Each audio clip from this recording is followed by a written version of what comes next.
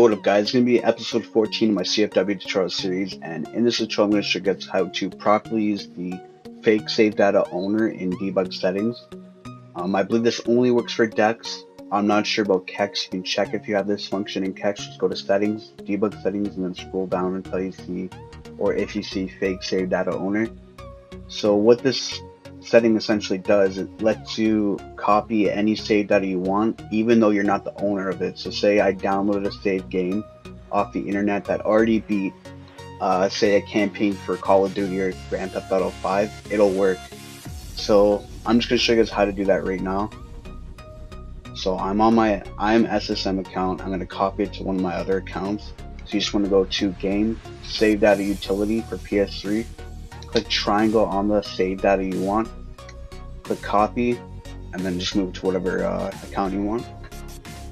And make sure you copy all of them if there's more than one. See there's two Grand Theft Autos right there. So I just copied it over, now I'm going to go on that account. And then, let me see.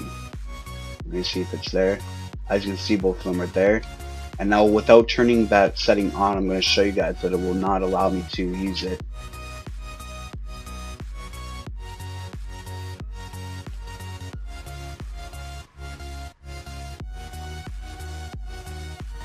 Should give me an error message soon.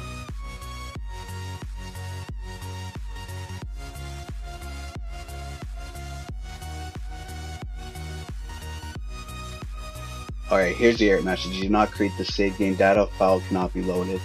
Okay, so I'm just going to quit now.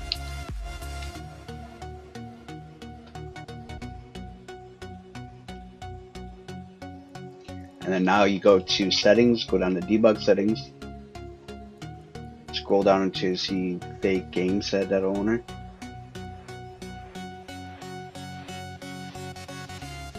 Right here, you just want to click X on that, turn that on and then click back to the game on the account you want to use.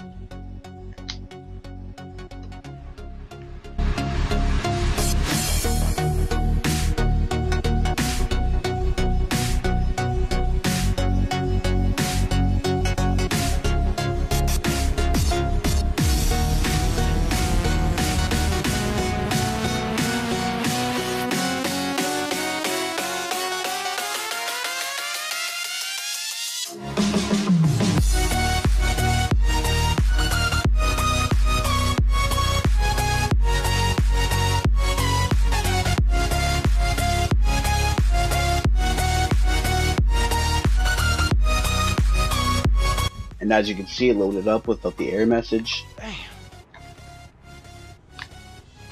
See Franklin, he's got his car there already because I already did this part on my IMSSM account. I do this, the fake save game data owner when I'm doing recoveries makes it a lot more easier and faster.